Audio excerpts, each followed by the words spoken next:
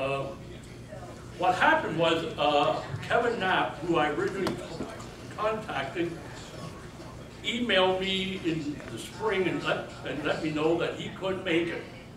Something came up, but he said, I rest assure you, you don't have to worry about finding anybody else, because I've got your, I got my replacement already. So, this man was kind enough to fill in for him and, and travel from the DC area today. Uh, his name is Dr., uh, I'm gonna, is can I use Jim? Yeah.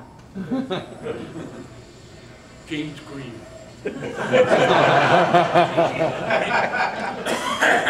He's a, he's a NASA chief scientist. He has received his PhD in physics from the University of Iowa.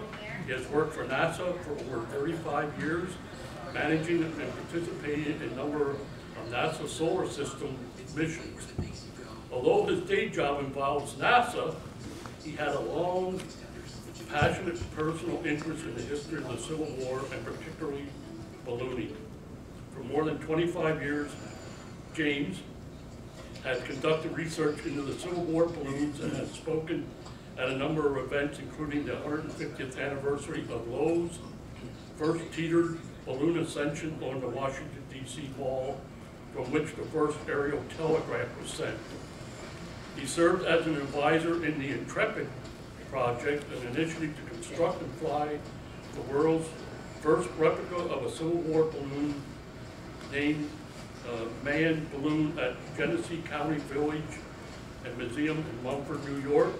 He has worked with Civil War Trust by identifying locations of the balloon stations during the Peninsular Campaign. So I would like us here at Hershey Civil War Roundtable to give Jim a nice warm welcome.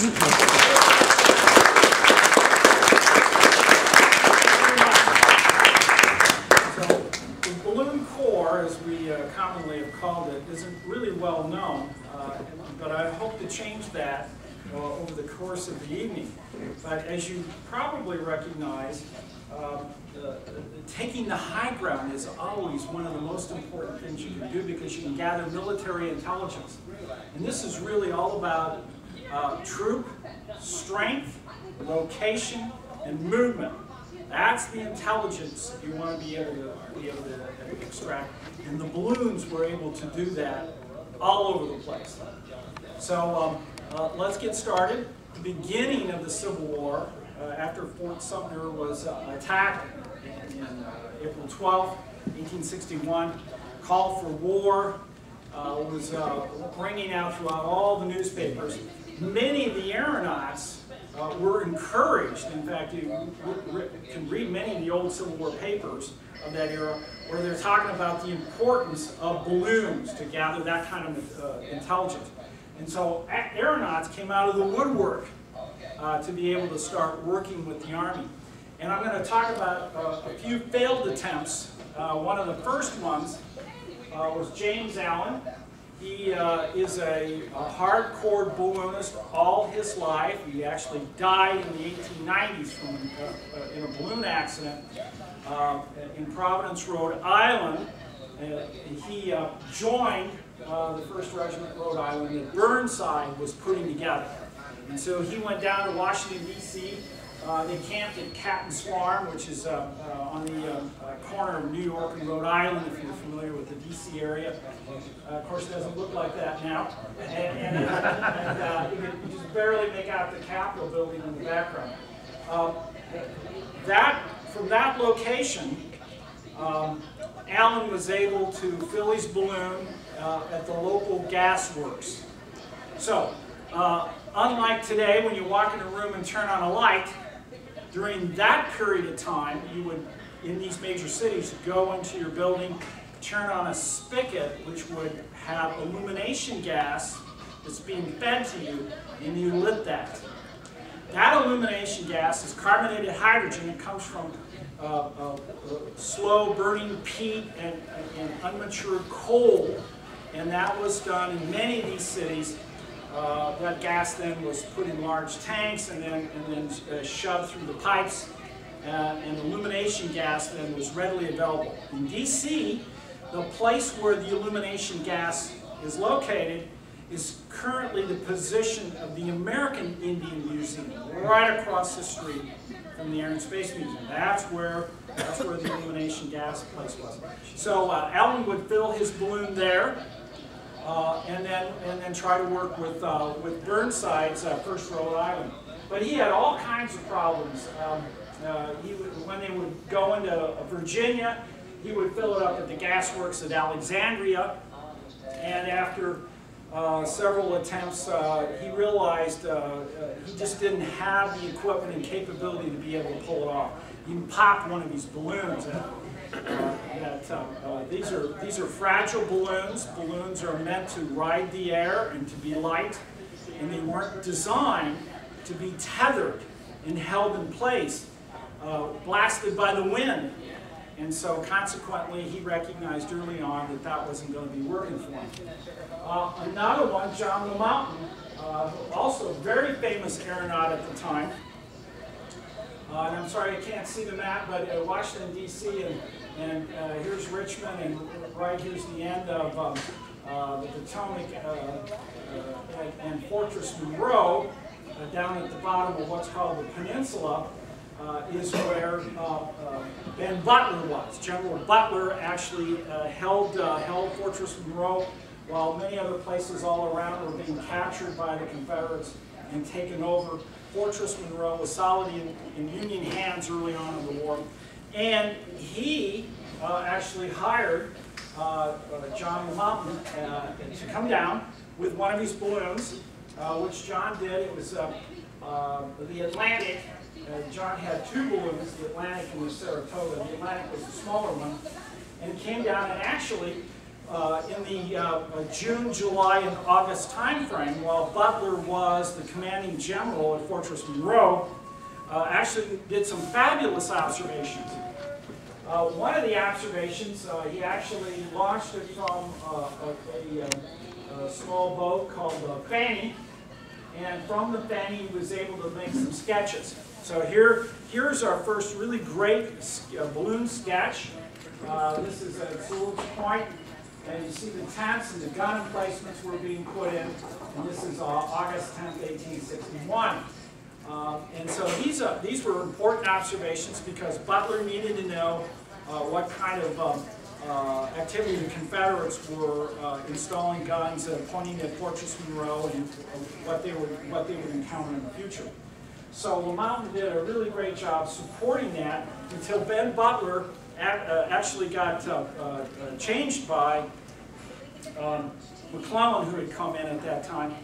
And, and, Butler went to, don't remember exactly where he ended up, but uh, the new commander that came in didn't like balloons, didn't use Lamont, and so Lamont was, uh, was very discouraged and ended up coming up into the Washington, D.C. area. And he'll, he'll come back in our story again. The uh, really famous aeronaut uh, who, who just started becoming an aeronaut a few years before the war, and he was really coming up in notoriety, is this guy, Thaddeus Lowe. And Thaddeus Lowe knew Joseph Henry. They corresponded a lot, and one of the things Lowe wanted to do, along with several other aeronauts, is actually do a transatlantic flight. And this was going on, this big discussion at aeronautic conferences where the aeronauts would get together and talk about how they could do that because the winds at, at altitude actually uh, blow uh, from west to east. The concept is, well, we could probably cross the Atlantic faster than any boat could and do it in a matter of days um, and, and, bring uh, information and information, uh, rapid information can be quite uh, important uh, financially. So uh, with the outbreak of the war, that stopped that whole idea. And Joseph Henry advised Lowe that if he wanted to participate in the war, he needed to come down to Washington, D.C. and get the attention of Abraham Lincoln. And indeed, this is, uh, this is the uh, activity that Lowe decided to do. He brought one of these balloons, the Enterprise, down. This is what the mall looked like in 1861. Here's what it looks like, of course, today. Here's the gas works.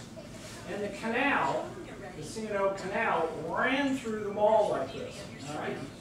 And so uh, Lowe stayed at uh, one of the local hotels, brought his balloon over, gassed it up, and in this area right here, right in front of the Air and Space Museum, he went up to about 500 feet, tethered and tethered, he tethered his balloon. Uh, wasn't uh, wasn't designed uh, th this experiment to be a free flight, so he wanted it tethered. And with him, he brought a telegraph operator and the telegraph operator supervisor, who absolutely had to go up with him. And so the telegraph operator, had, using a Grelo telegraph, sat at the bottom of the balloon, and Lowe went up uh, 500 feet. And so that telegraph line then uh, came down uh, and was connected into the to the local telegraph uh, lines, and um, we've recreated that event on the 150th anniversary, June 17, 1861. So, uh, so uh, uh, here is the recreation. We did this on the mall. Here's the air, actually the Air and Space Museum. Here is the uh, American Indian Museum, and this is where the gasworks were. So right here, uh, we, we, recreated the, the activity. Uh, worked really well, and it's uh, commemorated by this particular plaque that we put right on the outside of the building, the Air and Space Museum. You come into the back way, you can, you, can, you can see it. Now from the balloon, this is the view you have. Uh, we actually were allowed, and we applied and, and got the approval to uh, have a, a helium-filled balloon, more of a modern balloon with cameras on it, uh, to go up to altitude, 500 feet, and then take images of that area. So this is really pretty much uh, what we're seeing here, of course, is Virginia, here, of course, is Potomac. Uh, the White House actually is, is right here, it's sitting in the trees. Uh, they're on the way. But uh, you, you, you, can, you can get a feel for, for, for what that was like uh, exactly 150 years ago. Now, from the balloon, Lowe recites a telegram, and that telegram is delivered to the President of the United States. So when Henry told Lowe he needed to get the President's attention, this was the obvious thing for him to do. This was the first aerial telegram ever, ever done, okay? Uh, in fact, it was thought at that time you couldn't really do that from altitude for a whole variety of bogus reasons. And, uh, and Lowe, uh, Lowe knew that wasn't the case. So here's what the telegram said. You know, to the President, from Balloon Enterprise, this point of observation commands an area nearly 50 miles in diameter. The city with its girdle of encampments presents a superb scene. I have the pleasure in sending you this first dispatch ever telegraphed from an aerial station and in acknowledging indebtedness to the encouragement for the opportunity of demonstrating the availability of the science of aeronautics and military service of the country. So this indeed got, uh, got Lincoln's attention. Uh, that a telegram was delivered. Uh, uh, Lincoln read it, invited Lowe that night to have dinner with him at the White House. And so indeed Lowe uh, took his balloon, went to the, went to the backyard of, um, of the White House, had it, uh, had it tethered, tethered down, and then spent a significant amount of, uh, of the evening talking to Lincoln one-on-one -on -one about the advantages from a balloon to obtain military intelligence. Okay, that's troop size, location, and movement. All right. Now, uh, this telegram is really perfect and a perfect example of, of, of uh, what Lowe does. Um, yeah, you, 50 miles is, uh, is, is too far, really, to be able to observe at 500 feet anything. Okay, so he, he loves to exaggerate. He could barely see into Virginia, so he's not really going to see you know, much in the way of uh, any of the Confederate Army. He needs to be up higher. Now he knows that, but he really is uh, is really all about selling it. In fact, that's an element of what Lowe did. Is he is a superb salesman, in addition to a superb engineer, although he always called himself a scientist, which he wasn't. Take my word for it. Now, um, once Lincoln uh, really got to know Lowe and recognize the importance of, of um, military intelligence from, uh, from aloft. Lowe eventually becomes the head of what was called at the time the Aeronautics Department, AD. All right? And, and that was under McClellan. McClellan loved the idea, and so anything Lowe wanted, he got. And Lowe wanted to build a fleet of balloons. This is the first balloon he built.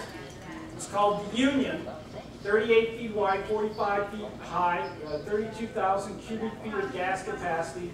Uh, with four cables, you could, you could uh, lift five men and, and cost the government $1,500. All right?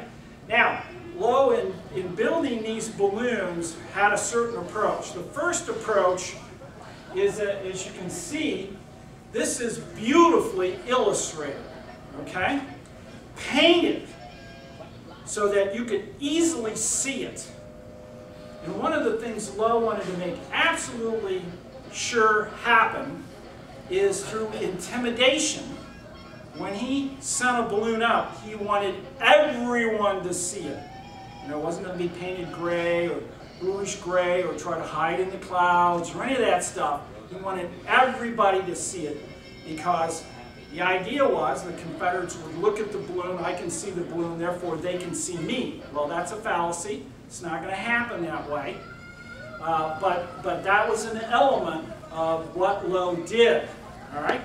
So Lowe had these beautifully, uh, beautifully painted balloons. He also, he built them very special uh, with uh, uh, uh, imported silk that was double silked, sewn in a particular way um, and coated with a varnish uh, that was airtight. You would fill these balloons with illumination gas. These were not hot air balloons. You'd fill them with carbureted hydrogen. And then Lowe later on also developed the capability of, of filling them with molecular hydrogen. He was really good at chemistry.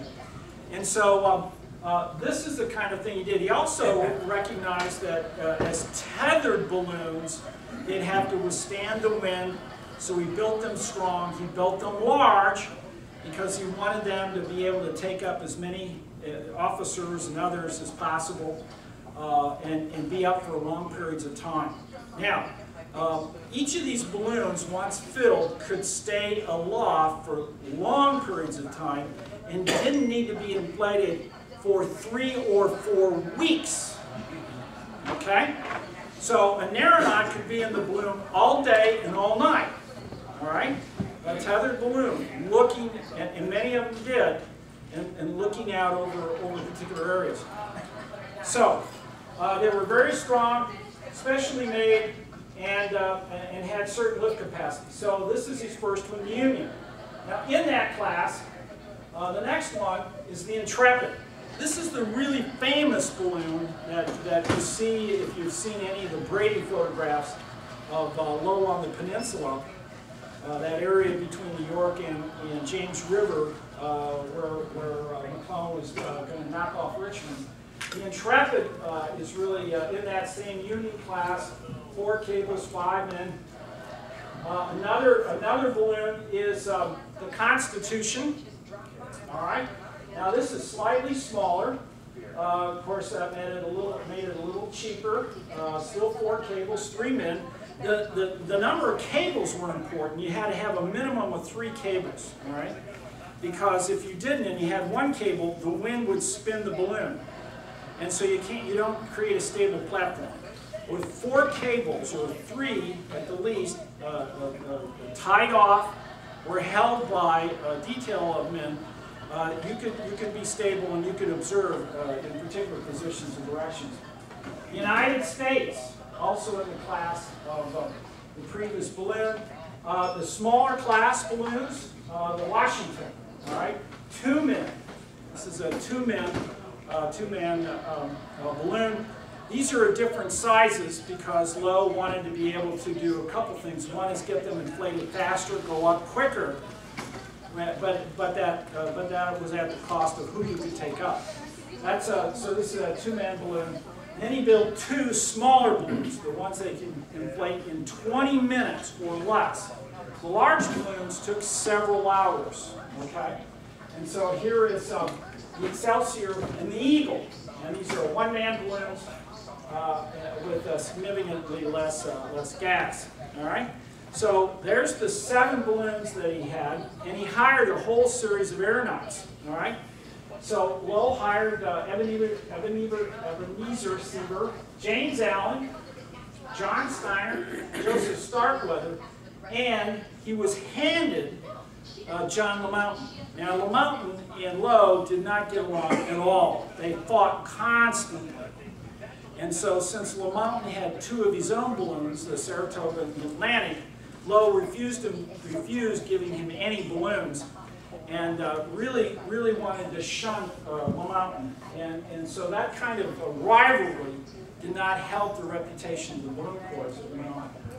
Now Lowe also invented gas generators, okay? So these generators, these wooden generators that fit nicely on uh, uh, wagon, wagon uh, uh, wheels, Conestoga-like uh, system. Um, he built 12 of those initially, but uh, since he lost two, and I'll tell you how that happened, he had two more built, okay? They went with these balloons. So the smaller balloons would require one of the gas generators, and the larger balloons, you would use two gas generators to, to fill a balloon. Now how they worked is um, uh, you would uh, fill inside these boxes uh, that, were, that were designed to be um, uh, well-constructed uh, tanks, if you will, uh, iron filings, and then from the top, from this top right here, you pour in a dilute solution of sulfuric acid. So that's H2SO4 plus Fe, and that's an exothermic reaction, and you pop off the oxygen and the hydrogen. You disassociate that because the iron gets oxidized, takes that oxygen in the, in, uh, out, of the, out of the water, and uh, you end up then uh, with H2 uh, molecular hydrogen that you then uh, go from, uh, from the tanks, it, it, pours out of these tanks Uh, because the pressure builds up, goes through these scrubbers where they actually take out impurities, and then goes through another one which actually cools this very hot molecular hydrogen. So that meant that these portable gas generators, whenever he would take them into the field, is he needed water, and a lot of it. So he would always be near rapidly flowing streams. So as they, as they went out into the field, that's where he'd be looking for. And he'd be looking for a place that was typically depressed because he wanted to be able to hide the balloon from the Confederates until he was ready to loft it and, and, and uh, then uh, surprise them as he goes up. So uh, here he is. Uh, this is one of the famous Brady photographs. This is the fourth Maine. Uh, Lowe, every time he'd go and have his aeronauts take some of these balloons to different locations, he would um, not have a crew. He had a few military men assigned to him, but only a handful uh, that did a lot of paperwork, etc., and, and, and, would work with the Army to acquire salary and you know pay, pay, pay these guys. These were all contractors. All right, so Lowe and his team uh, were never in the military. They were hired on, okay? And so when he would go, he would need 35 or 30 or 35 men, uh, and they were always detailed to him. And so the 4th Maine uh, was detailed to him, and, and um, uh, there's more than 350 or so men that had been detailed over a long period of time, two, three years in the, in the Balloon Corps, 61, 62, and 63, uh, before it was disbanded, uh, supporting these balloons, and that included the 118th Pennsylvania. Okay, so there's 35 men from the 118th Pennsylvania that helped support Lowe and, uh, uh, on the peninsula. This is a rapidly flowing stream. This is the Gaines Mill house right here. Uh, we're down in a valley, and here's Lowe himself. Uh, and here's the man filling that, filling that, uh, that particular balloon, which uh, turns out uh, to be the Intrepid. Now, uh, he would use these men on three, three of the ropes. So typically when he went into battle or needed to come up right away with uh, with the balloon and move it, he would have 10 men on a line. and they would train these men on how to deploy the balloon. He would go up and they would move then into position. So from the Gaines Mill farm, as you can see, they were in this big ravine. Uh, they would inflate the balloon, the men would get to their lines, and they would walk up the hill. And so he'd have the advantage of a hill, and then he would go up a thousand feet. All right. So he knew he needed to get up at altitude. Now, at a thousand feet, you can see 15 miles. Okay? That is what it takes an army to move in a day. Now, one of the things Lincoln really liked about that whole concept is, of course, uh, Maryland uh, fortunately stayed in the Union, but there was a lot of Confederate sympathies. Virginia, a lot of talk in the paper that they could just cross the Potomac and knock off Washington, D.C. And so Lincoln wanted the ability to have intelligence coming in that monitored the armies on the other side of the Potomac and kept Washington, D.C. safe. And Lowe provided that. Uh, did that actually very well. So that's how Lowe worked. Uh, many of these cases, but not all, he would take a telegraph system with him. And that telegraph system would be connected into, uh, you know, whether it's McClellan or other, other groups. And I'll talk a little bit more about that as we go on. Uh, when um, Lowe's base was in um, uh, Philadelphia, all right? His base was in Philadelphia, where he was uh, uh, stationed. And he had his seamstress there making the balloons. And so uh, on the train ride from uh, Washington, D.C. up to Philadelphia, uh, he made this sketch. Okay, this is an original Lowe sketch. And the idea is, wow, I need, I need a conveyance uh, that, that can be towed. And this would give me the opportunity then for a mobile platform that extends well beyond what these 30 men can take them and be able to do, uh, uh, get into places uh, with the balloon that, that you, you couldn't do um, on land. And so this, uh, this sketch he took back to McClellan uh, told McClellan this is what he absolutely had to have. Well, McClellan approved it, went over to the Navy Yard and picked out a vessel. Now the vessel he ended up picking out was the George Washington Parke Custis. Now the George Washington Parke Custis, okay, if you, if, if you uh, remember Arlington was in the Lee family. That was a Custis property. Lee's wife was a Custis. And George Washington Parke Custis uh, owned that mansion. And in the 1840s and early 1850s, he had a scooter built to take material to market. And also bring people uh, across the Potomac uh, to his property when he had a variety of events, which he'd do uh, fairly often. So the G.W. Parke Custis was built in Washington, D.C. for that purpose for uh, the Custis family.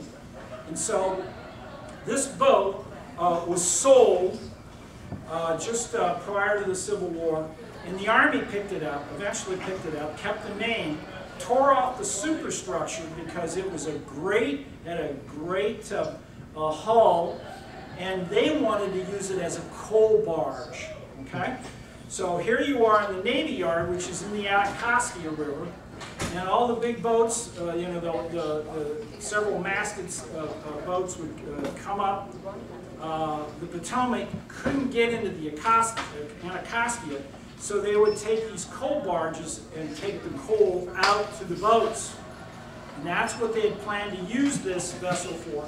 Lowe saw it after they had stripped off the superstructure and said, great, I want it, plank it, and he made the first aircraft carrier out of it. now, um, I have to tell you, my impression, knowing Lowe as intimately as I have, reading his stuff and what he's done and what he claims to have done over the years, he probably got that idea from John LaMountain, all right? Because LaMountain actually did it uh, uh, from another vessel, and it, like Lowe, he just wanted to one-up it, you know, we'll make it a, make it a flat-top boat, where he could actually put his gas generators on it, okay, and fill the balloons, and then launch them, and then have them towed. So, uh, so indeed, uh, that works slick, and this this uh, this boat did a really wonderful service. So, uh, the beginning of the war, uh, Lowe kept Washington safe. All right, he deployed balloons from Edwards Ferry, uh, Fairfax Courthouse, Clouds Mill, Pohick Church, on down to Budd's Ferry. So that line was designed to observe Confederates over in Virginia to provide an alert if, if Washington DC was going to be invaded. Okay? So uh, he had uh, stationed many of these aeronauts, as you can see here, all the aeronauts that were stationed. Um, and uh, so let's go through uh, several of these uh, locations. One, Edwards Ferry. Now, so Edwards Ferry, once again, that's way up here, way high. Why is it so high up? Well, it turns out what was happening in Washington, D.C.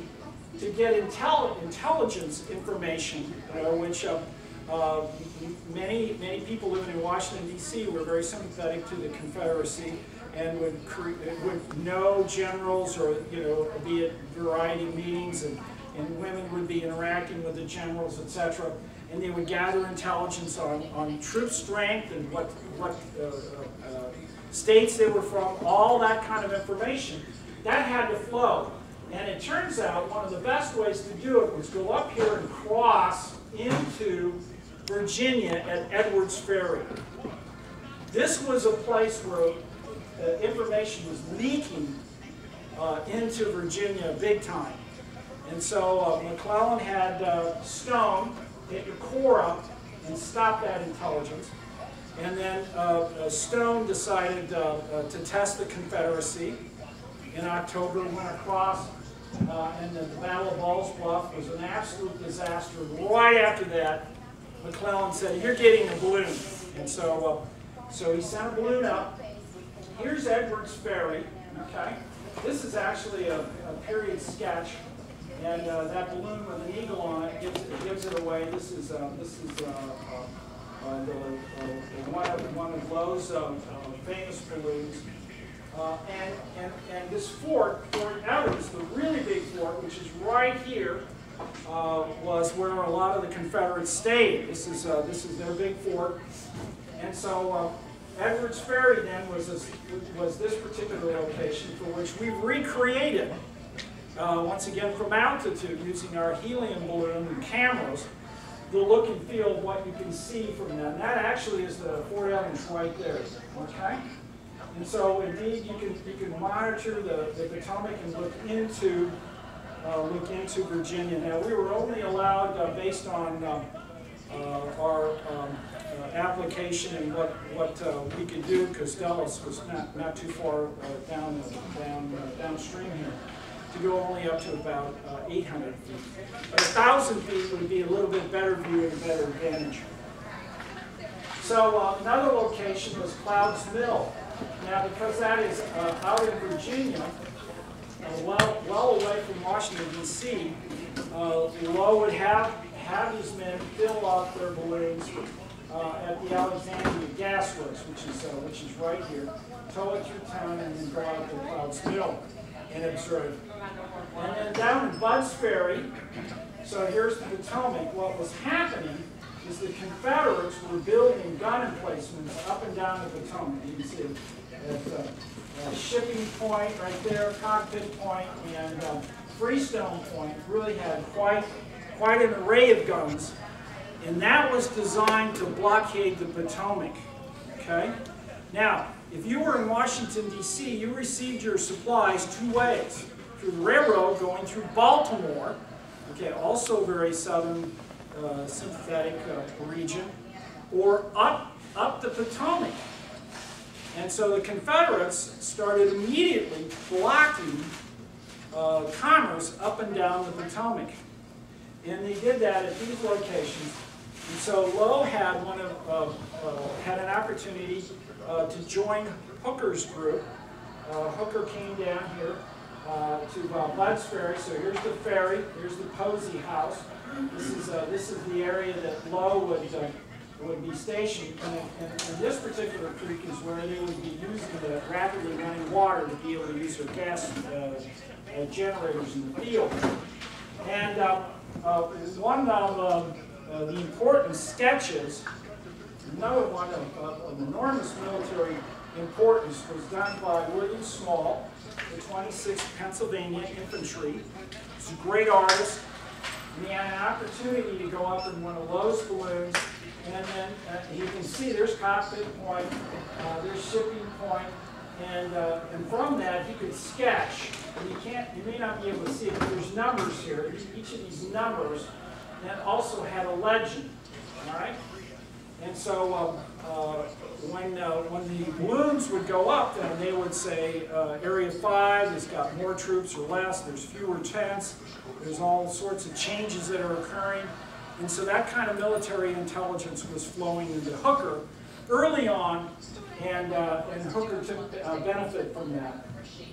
What was happening as, as these uh, balloons were making observations is uh, Lincoln was pushing McClellan uh, into a major campaign of going down the Potomac and, and trying to knock off Richmond, all right? And so McClellan was dragging his feet for several months, but the reports coming back from the balloons uh, were that, in particular, uh, this area, Pohick Church was the first area, this was one of Lowe's balloons. Here's where he tested the smaller ones, the Eagle, for instance, this is uh, this actually is the Eagle. Uh, uh, they began to see the withdrawal. So the withdrawal of men going uh, uh, down towards Richmond uh, was given that information to McClellan. And so McClellan said, okay, let's go down to the Potomac and get this campaign started. And this, of course, is the Peninsula Campaign. And uh, one of the first things he wanted to do is send a balloon down there before he sent men.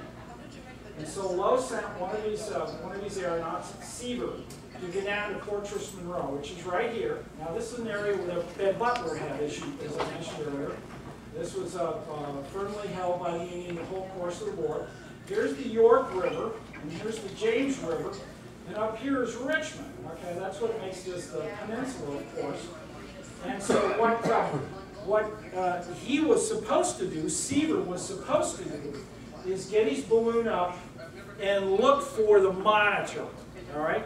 Everyone was very upset about uh, the monitor. Uh, in fact, there was quite a bit of talk about the monitor going up the Potomac and shelling Washington, D.C. Okay? So that never happened, obviously. But uh, by having a balloon down here, and giving the all okay, uh, then, uh, then uh, McClellan was able to bring his men down and, and land here in uh, Hampton and, and, then embark and, and begin to go up these roads. Now, one of the other key things that the balloons did is uh, they were connected to the topographical engineers, and those are the guys uh, that made maps, all right?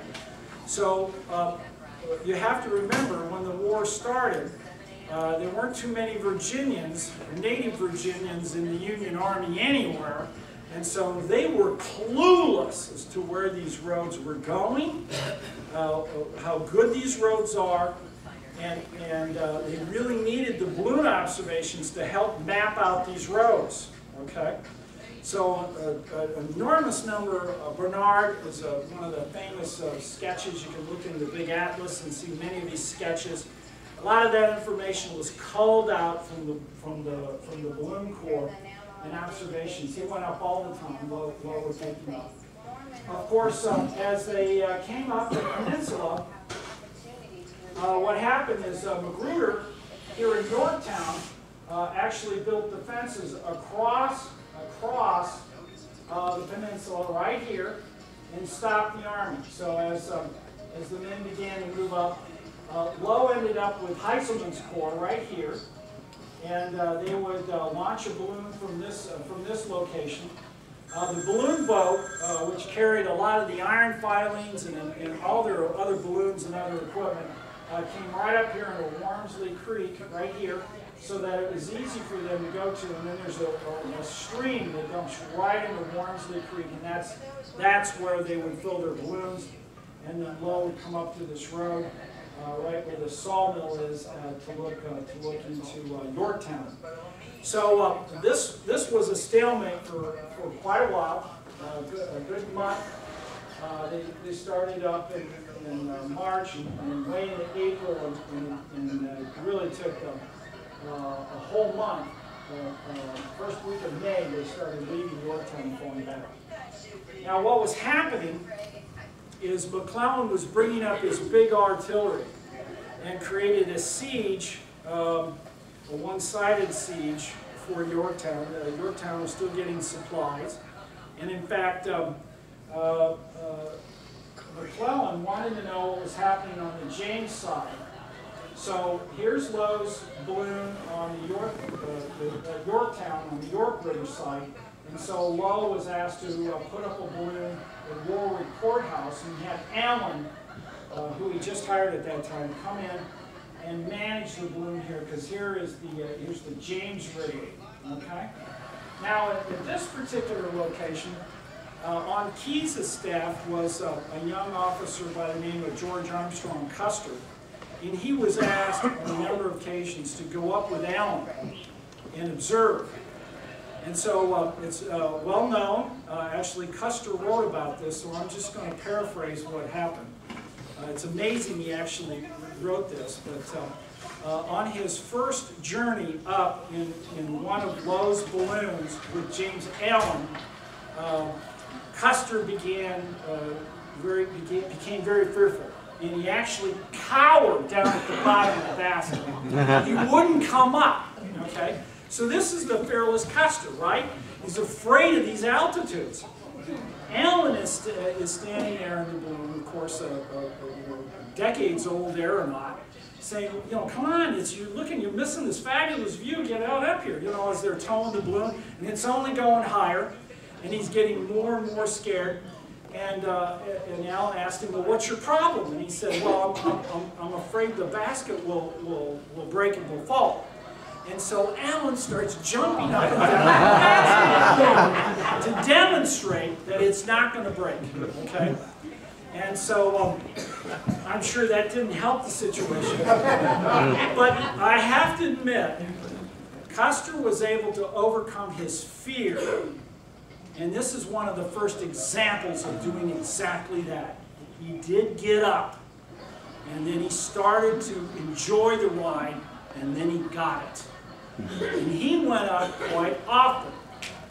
And he would, uh, on his own, he didn't need help, okay? And so uh, uh, that, that's uh, one of those little interesting tidbits uh, uh, that helped shape his life from there on. Can see many examples where he overcame his fear and things that were pretty crazy. On May 4th, Custer was up early in the morning like 4 or 5 in the morning and saw Yorktown being evacuated.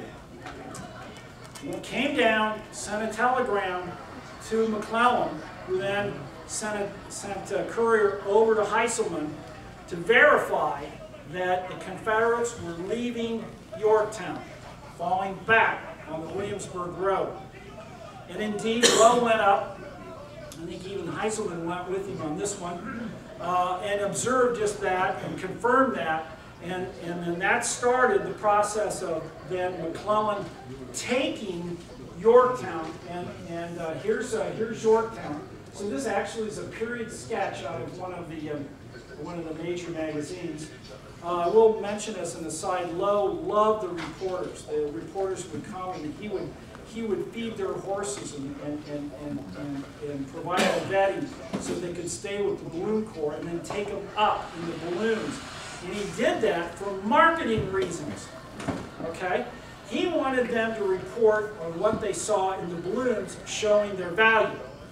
But here was the problem with that. All right? As he would go up, particularly at night, one of the best things the Balloon Corps did, and they did it a lot at, at night uh, in the Yorktown area, is count campfires. Okay? So you know how many Confederates you can get around a campfire? About 10. Okay? So he could count the campfires and he could see this road is where they're at. No campfires along this road. All right? And the reporters would report that in the paper.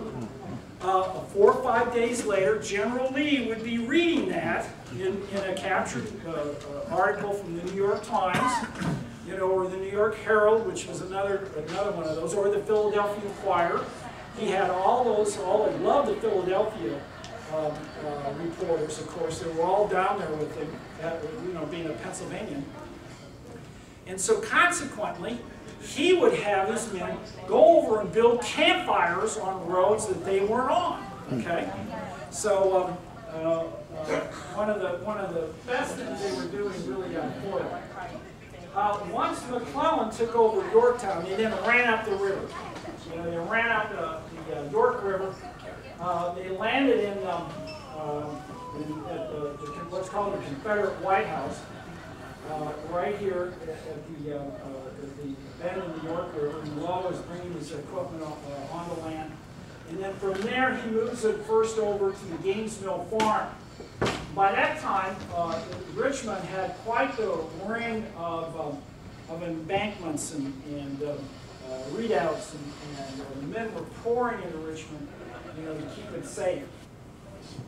He then set up another balloon uh, at Mechanicsville, uh, so that they could they could get some really good views. And here's actually another period sketch in a newspaper done by our done by uh, uh, you reporters, and uh, he's looking into Richmond, and he was bragging that he could see the people going to church. All right, you know, so talk about talk about the fear uh, that that was going through uh, the Richmond population. Uh, based on the fact that these guys were uh, in these balloons uh, looking down on them. Uh, uh, what happened then is a whole series of battles, uh, you know, heralded by, starting with the Battle of Fair Oaks. we had two balloons up during that time, Gainesville balloon and the Mechanicsville balloon. and also there was a telegraph operator, Parker Springs, was in the gondola within uh, during this particular battle. Now, um, what we do know is that telegraph link went down into McClellan's headquarters. So McClellan was getting real-time information about the movement of the Confederate armies and how Lee was positioning them. Now, during these fights, of course, there's so much smoke, you can't really see through that at, right at the front lines, but you can look around to see the flanking maneuvers and other things that were happening. And McClellan was getting that material real time. Now, a New York Times reporter reported that that was also connected to the Washington, D.C. line. And so that meant Lincoln and Stanton were in the telegraph room listening to real-time balloon reports 120 miles away. Real time, you know? So um, uh, that was going on during this particular battle. Now, uh, uh, McClellan uh, wanted to cross the Chickahominy, uh, which was uh, which is right here. And so you can actually wade across it during most times. Okay? And so he, uh, he moved his, his, his operations to the Trent House. So, of course, he wanted a balloon with him at all times. Now, McClellan loved to get intelligence from various sources and then synthesize it himself. That was what he liked to do. So that kind of information was incredibly important to him. And then he would make decisions on what he wanted to do. So what happens next is, um, here's the view of, of uh, Lowe, as, uh, as we talked about earlier, right here in this ravine where the Gaines Mill house is, okay? And so what was happening is once the Chickahominy, after a huge rain, overflowed its banks, cut McClellan's army in half, Lee crossed over and took Mechanicsville and then moved down to the Gaines Mill area. Now, Allen, unfortunately, was able to get the balloon and all the equipment out of, of Mechanicsville at the time. And here uh, is a, a, um, a, chart from uh, the Civil War Trust. Uh, right here is Powhite Creek, and this is the valley Lowe is in. This is his balloon station right here and it was overrun. Okay, uh, Wilcox's Alabamians uh, took that, walked right by the gas generators. And uh, several, several of the reports coming from these men talk about there's balloon, there's a Lowe's uh, gas station. Uh, they were taken back. Two of these uh, uh, gas generators were taken back. Lowe couldn't get them out in time. Got his balloon and gondolas out, but couldn't get the gas generators out. And they were put on display in the um, courtyard, the major, the major um, um, main square in Richmond to be put on, uh, or put on display for everyone to walk by and see that uh, the Blue Corps wasn't uh, as good as uh, everyone thought, thought it was. This particular area uh, is being bought, has now been bought by the Civil War Trust and turned over to the Park Service. And several of us went down there and identified that area. And you can go on to the Civil War Trust site. This is a little overview. This is Tom Crouch, uh, the head, one of the, at the time was uh, the, the top uh, running the, aer, uh, the aeronautics department at the Air and Space Museum. He's written fabulous books on Amelia Earhart and Wright brothers, by the way. Um, and this is Mike Boney, uh, who was involved in the uh, uh, Virginia uh, museum that's down there. This is Foley Creek. This is the creek Lowe used to, to uh, get these gas chambers. We've identified the location, the exact location. Uh, here's McClellan at the Trent House. And of course, as um, uh, things were changing, he had to make some decisions on what he was going to do. And several other battles occurred. Uh, but I want to uh, take an aside and talk about uh, what the Confederates were doing at the time. Because the Union Army had balloons, and a lot of them, Confederate Army had to respond in some way. And so Lee, uh, several months uh, into the campaign, in June, asked um, uh, Langdon Cheves to develop this balloon, uh, and he did. It was built in Savannah, Georgia, uh, and this balloon was made up of um, silk that would have made dresses, okay? But this these bolts of silk were, were sewn together, very colorful, very colorful. Um, and uh, this balloon was christened the Gazelle. But as soon as it started flying, although you can't see it, this is Porter Alexander. He was um, on Lee's staff. Porter was asked to actually fly the Gazelle. And as soon as it went up, and it was so patterned, you know, with uh, silk dresses on it, it was called the silk dress balloon, primarily by the Union Army. Right away, the Union Army was calling it the silk dress balloon. So that was becoming well known. The Confederates called it the Lady Davis, all right? So the Gazelle never really made it anywhere, but um, uh, in one of the battles in the peninsula, three balloons were up. Um, uh, and, and, how that was done is the gas works in Virginia, uh, in Richmond, Virginia, right here, here's the railroad station, the, the railroads, and so they would uh, have a flat car, they put the, the Gazelle on it, they fill it, and then they run it down the peninsula, and then from that flat car, they'd go up and observe. Now, um, this particular balloon uh, went three or four hundred feet, where Lowe's balloon were up at, uh, at a thousand feet. Uh, once uh, uh, that those set of observations were made, uh, Lee wanted a report from Porter Alexander. So they brought that back to Richmond, and um, Porter Alexander was allowed to deflate the balloon. This is uh, not accurate. That balloon never flew from the teaser here. But the teaser carried all the balloon equipment with it and went down the James River.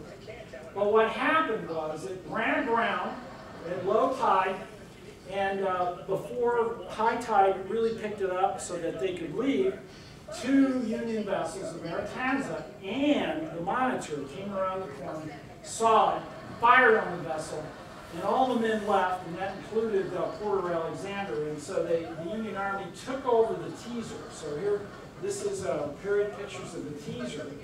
Actually, the teaser was damaged, was hit by one of the shells from the Maratanza. And um, uh, Lowe got the silk dress balloon. Now, uh, the Union Army thought, oh, hey, this is great. You can use this balloon too. Lowe loved the balloon because he cut it up in little pieces and gave it out as, um, uh, as uh, you know, uh, uh, an advertisement that his balloons were better than the Confederate balloons. In fact, he, he gave it to every senator and senators' wives and, and you know, uh, that he could get his hands on. They were down running around in the peninsula. So Lowe, once again, as a showman, did a lot of that. Well, eventually, after uh, many battles, uh, McClellan was pushed back and he moved to a particular uh, place right here on the James, it's Berkeley Plantation, a place called Harrison's Landing. And uh, this is where uh, he stayed put for uh, several days, more than a week actually. Lincoln was really mad at him. Lincoln said, either take Richmond or come home. So what is he going to do? He's going to come home. All right? And so how is he going to do that? Well, he has a lot of wounded. He has a lot of things he wants to do. He employs the balloons. And here's James Allen in one of the balloons. This is the Washington, actually. Uh, uh, the GW Parke Custis is being towed down the James River looking for the Confederates. In fact, the Confederates had several big forts, one of which was Fort Powhatan. Fort Powhatan uh, wasn't manned at the time. That, uh, that, uh, and so the so the uh, Allen gave the all clear that uh, you could start taking Union boats un, unimpeded down the James and back. And so that's indeed what what uh, what um, McClellan did. He moved all his uh, out the James that were wounded, and many others, and then marched the rest of them over to Yorktown, and then they were picked up at Yorktown and then and then brought back. Uh, pretty much a, a, failed campaign from their perspective. Now the Fredericksburg and Chancellorsville campaigns are also quite fascinating. But what was fascinating about the Fredericksburg campaign is uh, the Union Army now is stationed in and around Fredericksburg, Virginia, after uh, McClellan was gotten rid of and Burnside was put in charge. And here they are trying to figure out what to do. And the balloon station is right down here in this gully where the stream flows by. In fact, if you go, um, if you go across uh, the river, um, uh, this is uh, uh, Rappahannock, uh, on the other side of Fredericksburg, uh, the balloon station is marked with a plaque. So we, we know exactly where they were. Uh, here's the Phillips house that already been, that already had been burned down. And this is where Lowe uh, filled these balloons. But McClellan, oh, sorry, Burnside um, didn't really want that intelligence, so he had one of his aides go up um, and look at the battle. Uh, and so in Balloon, Washington, you had um, Teal in a balloon looking at what was happening, charge after charge after charge on the Marye's Heights, where thousands of Union men were slaughtered in this field and, and pretty much said nothing to, uh, to Burnside about it. So a real failed attempt to use the balloons for any sort of important intelligence. So um, uh, Burnside was then changed and Hooker came in. Now, many of the balloonists were, were really mad at Lowe. They were mad at Lowe because Lowe would get money to pay them, but what he would do was use that money, this was the accusation, to buy feed and grain to feed the horses of the reporters.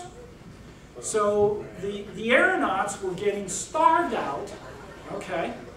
And so an IG investigation came in and tried to investigate everything that was going on with Lowe and whether there was malfeasance going on. This is just as Hooker came in. And Hooker then uh, gave uh, his chief engineer, uh, Cyrus Comstock, the job of running the balloon corps. And so he came in, saw that Lowe had hired his father, and he didn't like that, so he had his father fired. Clovis Lowe left. You know, that, uh, uh, that nepotism, you know, wasn't going well with a, with a career, career soldier. And then cut everybody's pay. And Lowe was so mad, Lowe refused to be paid. Now, Lowe was getting $10 a day, day after day. That's a colonel's wage, all right? He negotiated that early on. So he was, he was doing okay. And, and his aeronauts were getting five and, five and six dollars uh, a day. And so uh, consequently, the, the, these two really went at it. But uh, of course, Comstock uh, really is going to win out. And Lowe said, okay, at the end of the Chancellorsville campaign, and I will work for free, I am leaving the Balloon Corps. Okay, you can, you know, I'm just so disgusted working in this environment. Now, what was happening is what Hooker did was put together what was called an organ. This organization was called the BMI. Okay, uh, this is the Bureau of Military Information, and this was the organization where all intelligence flowed into. This is the start of the Central Intelligence Agency, the CIA. This is what it goes back to. And so they were getting interviews from slaves escaping, interviews from deserters. Uh, they were getting uh, reports from the tele, tele, signal operators and the telegraph operators who were out in the fields that could actually interpret flag information and bringing that back in. And then, of course, the balloon observations all were flowing into a central location and they were analyzing it. They were weighing the, uh, you know, the certain uh, set of intelligence they were bringing in, uh, emphasizing some over others based on its credibility, and then providing Hooker accurate information. And they told Hooker that Lee was set pat in this particular area and uh, left several things unguarded. One uh, was this fort up here, uh, and its name escapes me at the moment. Kelly's Ford, I think, is what it is. Uh, but uh, Hooker devised a plan then of uh, leaving a uh, small force, pinning down some of Lee's army right here in Fredericksburg, and moving around and crossing through this ford that was uh, not being guarded, and then surrounding Lee, okay, who was largely stationed here. And then he had Stoneman ride completely around this area uh, so that the concept was we're going to cut off Lee's retreat from this position to Richmond, which is straight south here. The plan was probably one of the best strategic uh, plans, military plans, that was ever done in the war based on accurate uh, uh interpretation of the intelligence. Uh, but Hooker couldn't pull it off he brought his men over uh, into this particular area while keeping Early's men here uh, with Sedgwick then uh, uh held to, held uh, uh, to this particular area. Lowe was in this particular balloon and his reports were very interesting and that was he had a telegraph operator and he was sending telegraph messages looking for changes that Lee would either go in any direction that was a critical intelligence. But what Hooker didn't think about is that he actually extended his force so far he couldn't get the telegraph lines all the way over. So a lot of the intelligence that were being collected by the Balloon Corps, uh, both here at um, uh, Falmouth and also uh, at um, uh, across from Fredericksburg and Banks' Ford, which is right here, uh, wasn't getting to wasn't getting to Hooker. Now it turns out one of the things Lee also liked to do is he would he would make changes when the weather was bad because the balloons couldn't go up. Whether it was too windy or it was raining or whatever, a lot of movements were made. And during the early part of the day, he had um, uh, he had of course um, uh, Stonewall Jackson move around and then come come at come at Hooker from this direction probably not observed by the balloons because, definitely not observed by the balloons because they were not up, it was too windy. It was too windy. So Lee, whatever intelligence he gathered, uh, was a master at being able to interpret it and then act appropriately. Well, at the end of the Chancellorsville campaign, uh, which uh, was a resounding victory for uh, the Confederate Army, and they went back to Washington in disgrace, the last activity the Balloon Corps did was in the rear. So Lowe left, and Allen was in charge of the balloon, the balloons and managing it, and Cyrus Comstock was sent to Grant uh, on the in the um, uh, on the western front, and uh, Allen then was making observations of, of, of the Confederates as they were retreating back to Washington D.C. Now what happened was uh, Hooker ordered that the quartermaster general pick up the equipment and take it to Washington. It didn't necessarily specify where. And the quartermaster department put it in a warehouse uh, on New York Avenue. all right? And so it's all boxed up, all the balloons, all, all the uh, gas generators, and then stored in this warehouse. Now, of course, this is my conception of what that might look like. This is uh, from the movie Raiders of the Lost Ark. And so it stayed there. Hooker left, uh, Meade came in, Grant came in. Now, Grant had uh, virtually no information about the use of balloons. Meade had some, because he was part of the, of the Fredericksburg campaign, where the balloons were absolutely ineffective because they weren't used uh, appropriately. And so the Balloon Corps was never called out of Washington, D.C.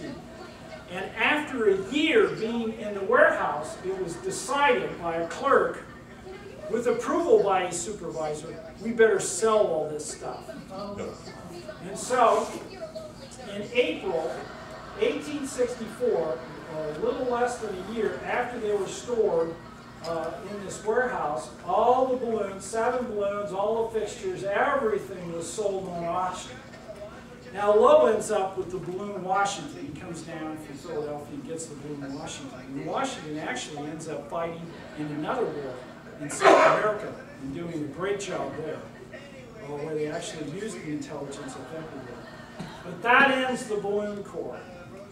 It was an exciting time.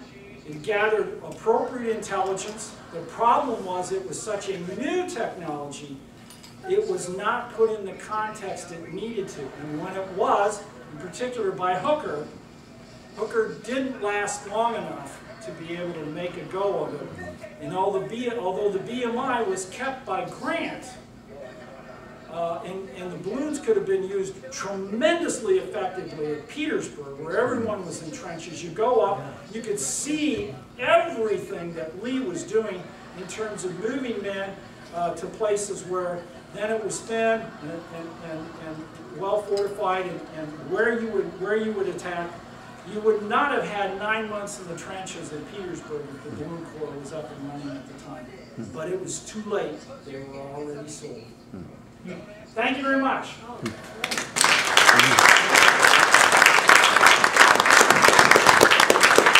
So, uh, there's Kevin right here. Okay, so uh, so we're in the balloon corps.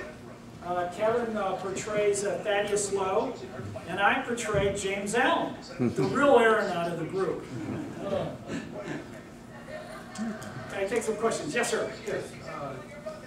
Did the Confederates ever make any serious effort to shoot them down? Oh, yeah. Oh, yeah, absolutely. So in the war, there was at least 3,000 flights, okay? And they were shot at constantly, constantly. They were probably the most shot at people. There's plenty of, plenty of stories of, of actual um, uh, cannonballs going between the basket and the balloon, okay? and they were, and they were full of holes, okay? And so uh, Lowe, when he would get a detail of men, would want sailmakers. Okay, this is why I like some of the Maine and the Massachusetts group, because typically you could pull out 30 men, and some of them were involved in shipping, and they were sailmakers, because when the balloons came down, they needed to be repaired.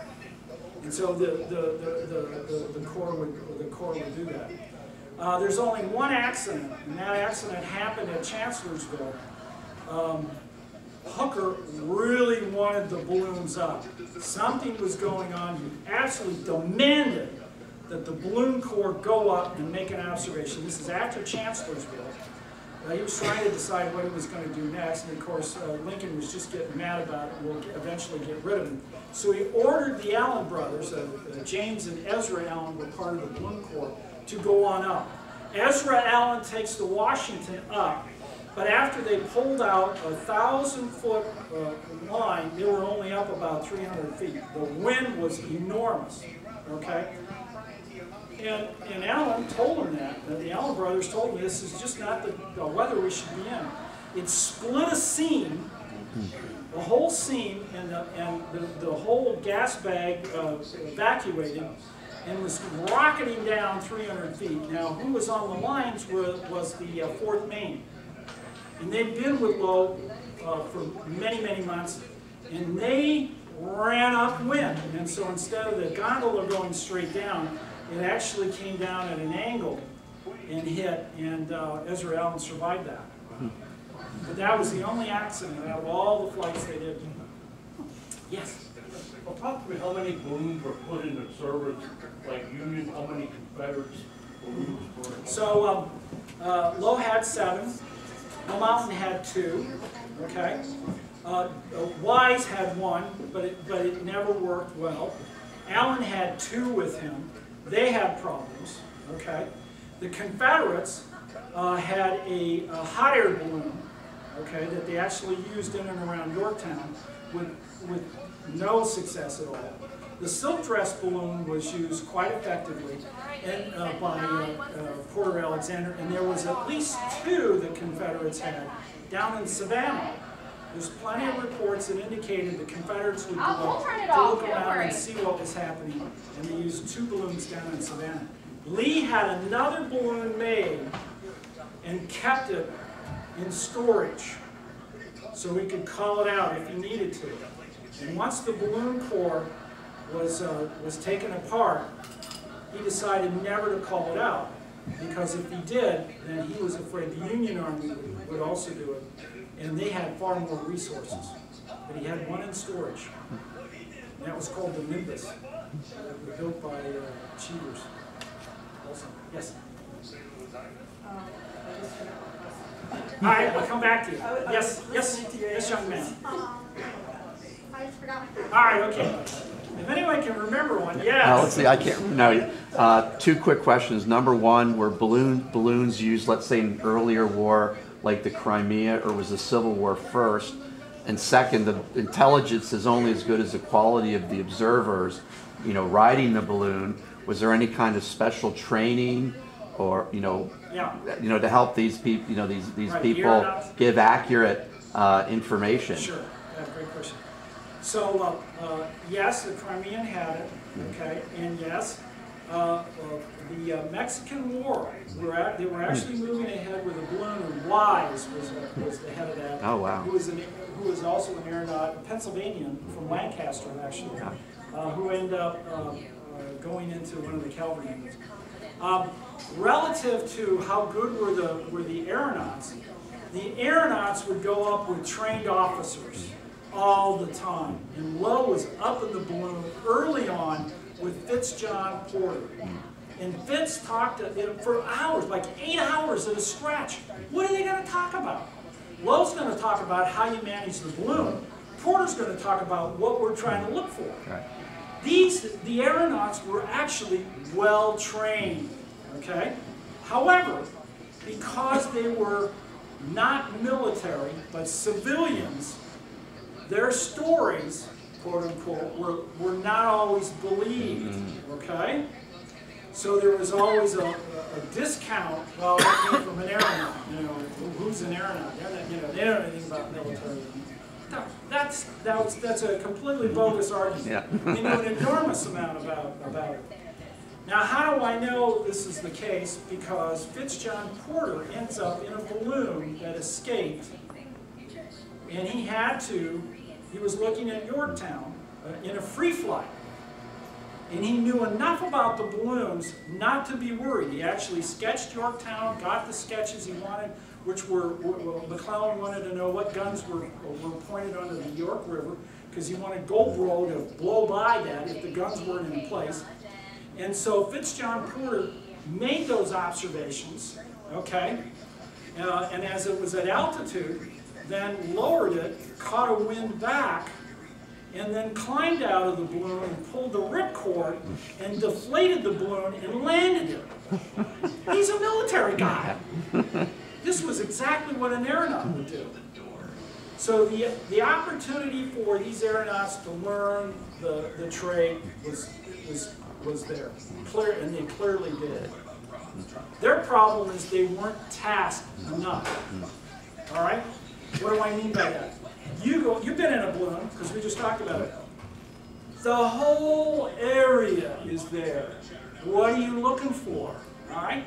So from a military perspective, it might be activity on a particular area, a particular road. That's where you want to concentrate your attention on. But you need to be tasked. You know, if you go up and, and you come back down and they say, well, what did you see? Oh my God, it's on this and that, and this and that, and this and that, and this and that. Well, what moved? Well, we didn't have opportunity to do that. I'm working over here. You know, they had to task it, okay? That's exactly what the military does now. You know, with their, with their space assets, they're tasked. The time is we need to observe these areas, observe them, okay? So the technology was great, it was, came at a wonderful time, but not, the, but the military infrastructure did not know how to use it. Only a few of these guys uh, in the military really did, but they got swept out early on. Yes, sir.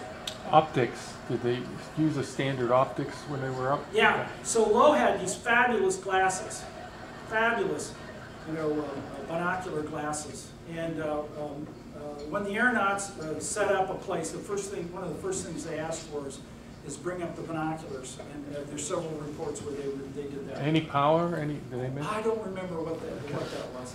Yes, ma'am.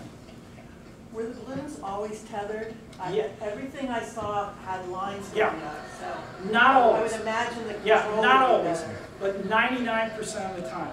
LaMountain loved free flights. He loved to go out, fly all over the place, come back, report a few things, and, and then and then spend three or four or five days getting his balloon filled and goofing around. Whereas Lowe knew that they needed constant observations and they needed to be portable. You needed to go to a place to make an observations, which is why the flat top carrier gave them great flexibility. The concept of having men on the line, moving to where you needed to go. You could go right up to the front, see what you needed to, and then fall back. So you had enormous flexibility. So the tethered balloons was the way to go. Well, LaMountain didn't do it because these balloons, he, he would do a tether occasionally, but these balloons were not built to be tethered. And that's part of the problem. Lowe built them to be tethered. Yes, young man, you found- you got your question. Okay, yes. Was Abraham Lincoln ever on board with the idea of balloons? And if not, did he ever try to stop the idea, stop the balloon No. Lincoln went out of his way to create the balloon force.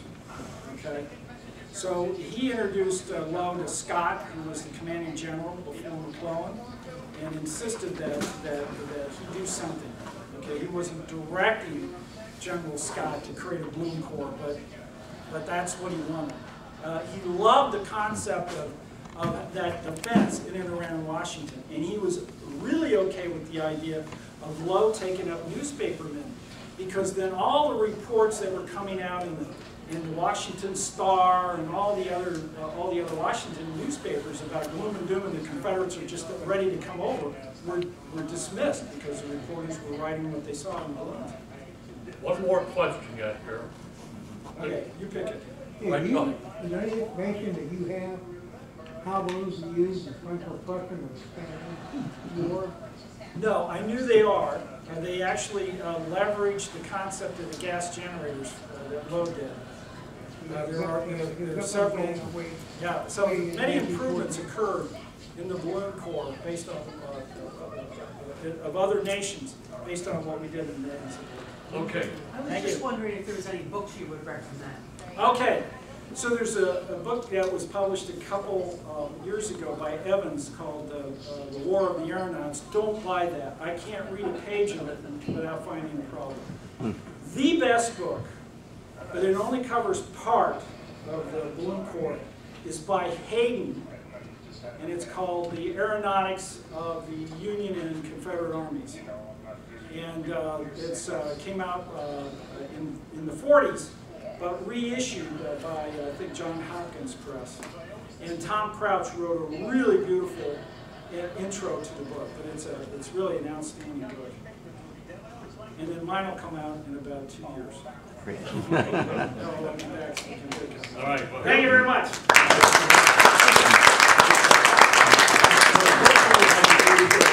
You always give her a speaker. word. Perfect. One of our. I love it. I don't know if you I love it. or not. I do, I do, I love it. It So, so on the way home, Yeah, if you want a nice sweet treat to the ah. all right. turkey bar. Perfect. And then there's your compensation for No, no, no, you can't do that. No, no, No, you can't do that. He's well, that's what. I told Kevin. Well, I'll give it to Kevin. No, no, you give it to, well, it's got your name on it. Anyhow, Well, thank you so very much. let's get to another.